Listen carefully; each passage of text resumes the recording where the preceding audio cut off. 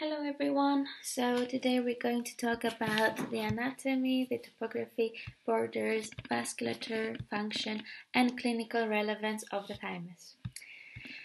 So you can see some pictures. This is what you will see during dissections. This is what you will see during autopsy of the thymus. So it is of a pinkish gray color. It's soft, lobulated on its surface, and it consists of two lobes, one left and right, and they are connected by a ligament. It's surrounded by a fibrous capsule, and this capsule will penetrate into the thymus. The lobes are further subdivided by um, connective tissue into lobules. And what's very interesting is the phenomenon called thymic involution. It is an age related phenomenon where, in simple words, in a child, the thymus is the biggest, and in puberty, it will start to atrophy, and in an adult, it will be a much smaller organ. And in elderly, it's barely identified as an organ and I'll show you more pictures. So here is a chest x-ray of a child and this uh, triangular opacity which extends from the mediastinum to the right upper thorax is actually the thymus. This sign is called thymic sail and it's a it's a physiological um, finding in a chest x-ray of a child but in an adult x-ray you cannot see this. Um, here we have a microscopic picture again of a thymus in a child. You can see this darker peripheral uh, area which is the cortex and here are densely packed immature T lymphocytes. These T lymphocytes will later migrate into the medulla, this lighter area, where they will mature. Um, you can see that in an adult thymus, there is a lot of adipose tissue. This is fat tissue which has replaced most of the cortex. And you can also see here in an autopsy of an adult thymus how this whole structure is composed of adipose tissue. In a microscopic picture, you can see this uh, structure which is called Hassall corpuscle. It is found in the medulla and it has an onion-like structure um, and it consists of uh, eosinophilic reticular cells which uh, produce cytokines that are necessary for the maturation of the T lymphocytes. So, where is the thymus? It's in the mediastinum, which is the central area in the thorax between the lungs. And more specifically, it is in the superior mediastinum and it's the most anterior structure in there. It lies below the manubrium, which is part of the sternum, and it is uh, it sits on the pericardium and it's separated by the great uh, from the great vessels by layers of fascia. In a child it can reach uh, in the neck and it lies in front and sides of the trachea behind the sternohyoids and the sternothyroid muscles it can also reach up to the thyroid gland, but in an adult it's just a small structure behind the sternum. And finally, the left and right borders of the thymus are the lungs from each side. So, vasculature. Um, blood supply comes from uh, small branches which originate from the internal thoracic arteries, as you can see here. The venous drainage uh, is usually into the left brachiocephalic vein and uh, the internal thoracic veins. And the lymphatic drainage is uh, in um, returns to multiple groups of nodes at one or more of the following locations. So either along the internal thoracic arteries, parasternal uh, nodes like here, or the nodes which are in the tracheal bifurcation called tracheobronchial or in the root of the neck. So, what is the function? The main function is the maturation and differentiation of the T lymphocytes. So, from the time you're conceived until you reach puberty, your thymus gland is very active. It serves for both the immune and endocrine systems. And what's an endocrine system? It's uh, the system that makes the hormones, which are the body's chemical messengers. And to understand the thymus immune system, you really need to know what's the difference between the two white blood cells, what's the difference between T cells and B cells. So, T comes from thymus because this is where they mature. And these cells, they help to fight off the body's foreign invaders such as bacteria, viruses, and toxins. And they can also identify and attack cancer cells, which is very important for the clinical years. B lymphocytes, B comes from bone marrow, uh, this is where they mature and the difference is that they produce proteins which are called antibodies and these antibodies are used to destroy specific invaders so the T lymphocytes are called by the first responders and defenders of the immune system when they need extra help so they are made in the bone marrow and which is the spongy tissue within your bones and when the T cells are still young or immature, they will travel through the bloodstream into the thymus.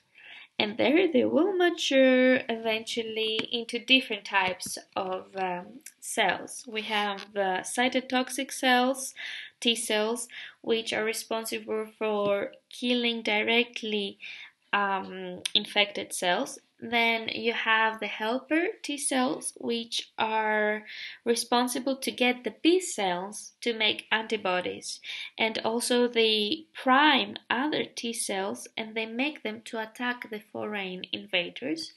And then you also have the regulatory T cells. These are really important. They play the role of police, and they are um, responsible to suppress any B cells or even T cells that are mistakenly are harming the body. So before I explain what's positive and negative selection, I want to say a few words about the MHC proteins. So all body cells except from the red blood cells, they have class 1 MHC proteins on their surface which um, MHC actually stands for Major Histocompatibility Complex and is part of the extracellular matrix. Class 2 MHC proteins molecules are found on special cells, the antigen presenting cells such as macrophages. Um, the cells that need um, MHC proteins, actually, I'm so sorry, I wanted to say Cells need the MHC proteins in order to present their own antigens on the surface. And why is that important? It's important because if the T cell binds on an MHC complex which presents self antigen, then the T cell understands that, oh, this is my own cell, so I won't attack it. But if a T cell will bind on a MHC protein which presents a foreign antigen or an antigen from a tumor cell, then the T cell will recognize that this cell is unhealthy or it is foreign. So it will start an immune response and it will eliminate the pathogen or the tumor cell. Um, and how does the T cell recognize if it is self or non self. So this happens in the thymus through a two stage selection process, and you can see it in the left picture. So the first uh, stage is the positive selection. What happens is that a T cell is exposed into MHC complexes, and if they bind to MHC complex, then this is good they will survive. So that means that they can recognize what it is. But if they don't bind then it will die. So from the positive selection you get T cells that recognize MHC complexes.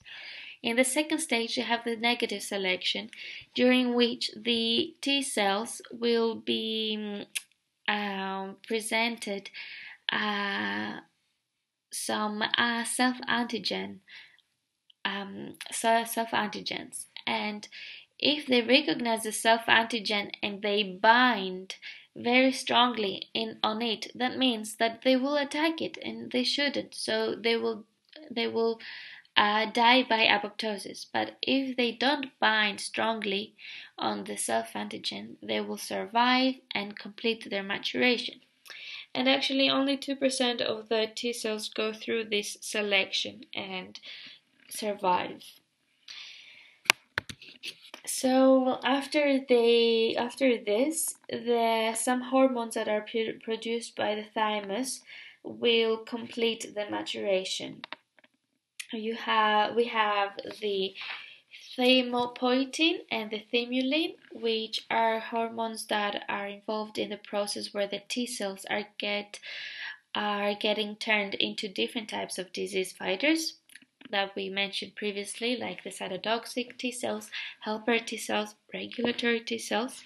You have the thymosin, which is a hormone which boosts the immune system's response, and it can also stimulate the um, other hormones that control growth. And you also have the thymic humoral factor. These hormones increase the immune system's response to viruses. And a few words for the clinical relevance of thymus. So, we have the DiGeorge syndrome. Uh, which is partly because of the deficiency in T lymphocytes. But why does this occur? Because during the development of the fetus, the embryological structures from which the thymus arises, they fail to develop. And that leads to thymus aplasia, that means that the organ is not present, or thymus hypoplasia, that means that the organ tissue is decreased because of the decreased cell number. And the lack of allocation for T lymphocyte development, that is the thymus, means that the affected children have reduced or absent T lymphocytes, and thus they are very susceptible to infections, even infections by fungi and parasites. They're very frequent and severe. The other uh, topic I'd like to talk about is autoimmune disease. So, what happens? During the negative selection, the T cells, which are dangerously um, have dangerous high affinity for self antigens, they are deleted.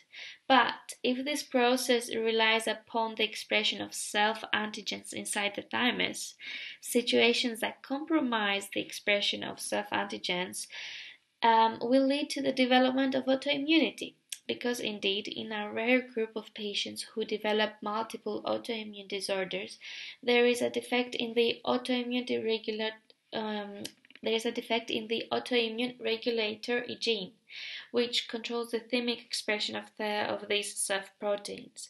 And when the gene malfunctions, there is reduced expression of self proteins in the thymus, and thus the T cells never learn how to recognize them. And when they are free to circulate in the blood and bump into self antigens, then they recognize them as foreign and they start to attack them. So, thank you so much for listening. I really hope that this video was helpful and I wish you good luck with your exams. Thanks.